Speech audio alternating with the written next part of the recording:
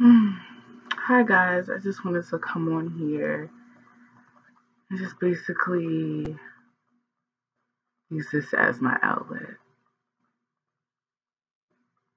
I don't I haven't been, you know, doing YouTube videos or having just having the desire to do it lately. And not because I don't want to, it's just because I just feel like a lot of my life is just in shambles right now. And it's just basically what I'm trying to say is that I have a lot of emotional issues and I'm getting help for that right now, but I still feel like I just need more time. I just need more time. Me time. And I'm a single mother. You know, I'm I have two beautiful children. And sometimes it just weighs down on me a lot. And I am I am in a relationship right now and I'm very, very happy. And he does, you know, interact with them or whatever, but that's not the issue. The issue is the people I've chose to have my children with. And um my oldest daughter, my oldest daughter, um, me and her father weren't in a relationship that long. We basically, basically, what happened was, um, we worked. Okay, we worked the same job, um, and I was 18 at the time, and he was 27, and he got attached to me really, really quick and um, it was cool. I was still, but I was still in. I was still, I still had a little girl mindset. I wasn't really, you know, ready for a serious relationship, but I wanted it in a way. Um, I just took whatever he gave me. Basically, I wasn't ready to really settle down or be in, you know, uh, just just just tied down yet. I just I'm I mean it's hard to say, it's hard to explain, but you know, when you're a little girl, when you're a little when you're young, you don't think correctly. And I felt like that was my problem. Um, but anyway, moving on. Um, we were dating for about a week before he told me he loved me. And I didn't know how to feel about that. So I was like, I didn't say it back. I didn't, because I didn't feel that way at the time. I didn't. Um, I always felt like we didn't have like a real connection. I felt like I only dealt with him because of how he felt about me, not because of how I felt about him. And that was my issue. I never came to terms with how I really felt. I just dealt with it because, you know, he was, we were in a relationship, but I didn't really, I didn't ever feel like a tight, tight bond between us. We dated for about maybe three months before I even, before we, okay, we got engaged after maybe two months or two or three months, and then we had a child maybe like a month after that.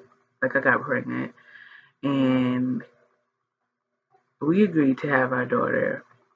Fine, but then after time went on, we started having really bad issues, and it was just so stressful um, because yes, he was older than me, and he used to use that against me a lot, and I used to feel so taken advantage of, and I wasn't really comfortable in my relationship, and I mean, I wasn't, you know, attached to him as he was to me, so it was easy for me to just be like, you know, whatever to everything.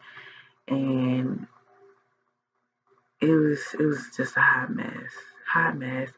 And he always talked about just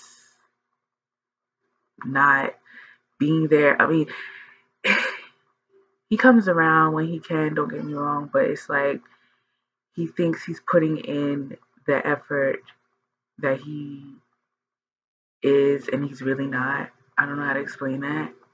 But I feel I feel like he spends very minimal effort and he covers that up with just gifts and money. And you can't do that. I don't care about the money. Money is good because you have, you know, you have a child. Money is good. But the time that you put in as a parent to me matters the most. And by you just being like, okay, here, take money, that's that's not being a parent to me. And just going on about your business, that's not being a parent to me. Being a parent is being there for your child as well as taking care of your child physically, mentally, everything. Taking care of a child is not easy. And I don't think he understands that. He comes maybe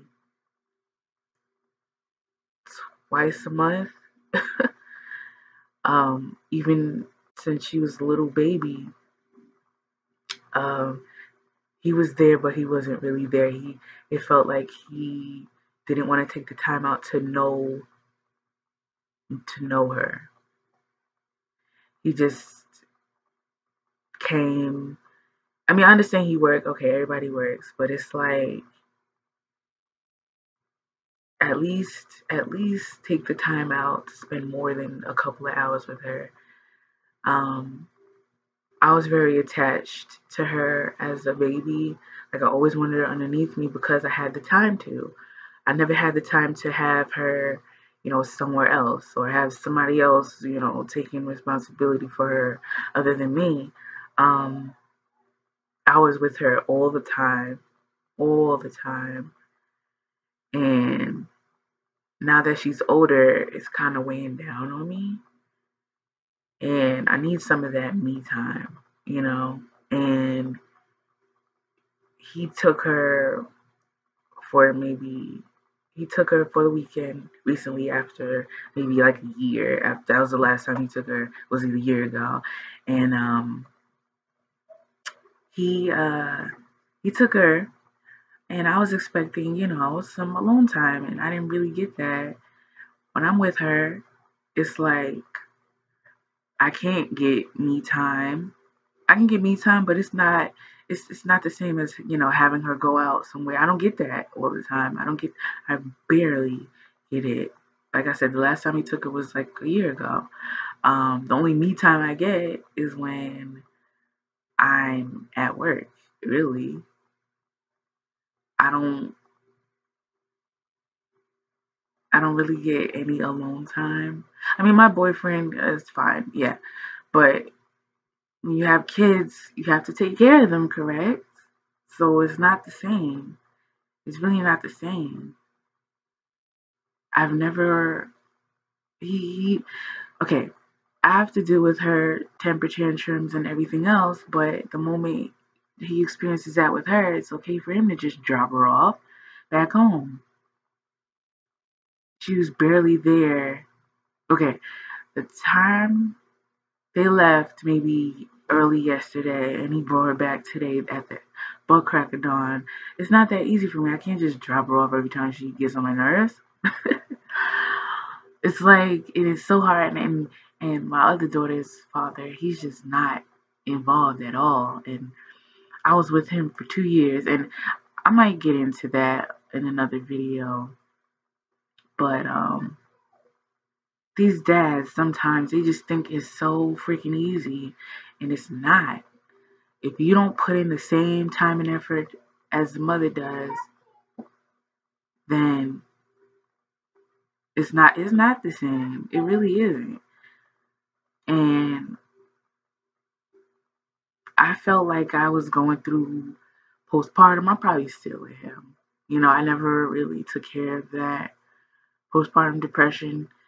And I'm going to therapy now, yes, but I still feel like it's not it's helping, but it's it's just so much that I wouldn't want to get out. And I just wanted to just get my feelings out now before I just freak out and just lose my mind. Um, I might post this. I might not, but I just wanted to not be a voice, but just just be there for other mothers that's going through the same stuff I'm going through, single mothers that just don't have an outlet. You know,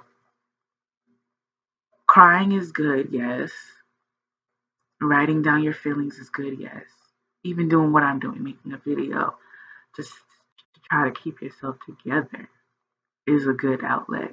Just talking to somebody is a good outlet because it's not easy. It's not easy doing stuff by yourself. Yes, he gives me money, but it's like hush money to me. It's not like he's actually doing what he needs to do. It's, it's he's making it seem like he's like babysitting her. Like, I mean, you're not really there like she needs you to be. Yes, she knows you're her father, but it's like you're not picking up the slack. You're not dealing with everything that I have to deal with. You're not dealing with all everything that I deal with. You're not. You just I don't know. And it's like if I say something to him, it's like it's an issue. It's automatically an issue. So that's why these t- these days I don't say anything. I don't say anything because it's always an issue, and dealing with it for a while, it's like I don't say anything because I feel like if I do, like I said, it's gonna be an issue. So to prevent all that, I don't say anything, and I just keep my disappointment, my anger inside. And I know that's not good. But it's like, if he has an issue with everything you say, you're not going to want to say anything. Anybody. Even if you have one of those parents that just want to just scream at you for everything and judge you for everything that you do, you don't want to tell them anything anymore. You're just going to keep it in. Because everything you say, they have an issue with it. But um, I think it would be more effective if I do turn to YouTube as my outlet. Because maybe, just maybe, I just might find other people that go through the same things I go through. And I just don't want to come on here and do makeup all the time. Sometimes I do want to just sit down and talk about me and open myself up to other people. I can't wait to get like another camera. Like filming on my phone and my laptop is so depressing sometimes. Cause I sometimes I look at other people's YouTube and they have such beautiful quality and it's like ah. But you know what? It might even if it might take me longer, I'm still gonna do my YouTube thing. I'm still gonna show and educate other people on what I know about makeup or whatever have you. Um, I'm not really a good talker in front of the camera, but it's nice to just sit here, even though I know I'm not talking to anybody physically, like in front of me. I know that somebody, just somebody, is watching, and that makes me feel good. It really does. And I'm not doing YouTube for money. That's not what I want to come on here and do. I just want to uh, come on here and basically show what everybody what I like to do, what makes me happy. Um, yeah, but this is this is going to be probably my new outlet. Just you know, even if I don't make a video on makeup, I could just come on here and just post a video on how I'm feeling or you know just express myself um, yeah. So stay tuned for the next video. Um, I don't know when the next video will be. Uh, just stay tuned for it. And um, yeah, if you haven't subscribed, please subscribe. And I love you guys. See you in the next video.